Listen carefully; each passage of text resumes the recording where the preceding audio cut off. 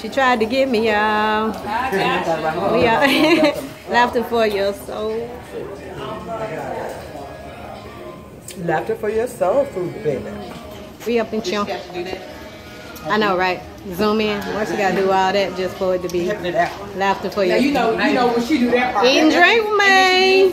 She up in here. So that means she a food critic. She gonna see what your food tasting like. We got the food critic in the building. Yes, We Lord. got Chef Sharice, Chef Sestina, Chef Khadija. Like We got key berries in the house, strawberries. Scraw. Oh, oh, we have one. That's how we doing it up in Chip. We get ready. Got Kiki in the house. What's good? Got Jess in the house doing her thizzle. Always, always, always. Love her.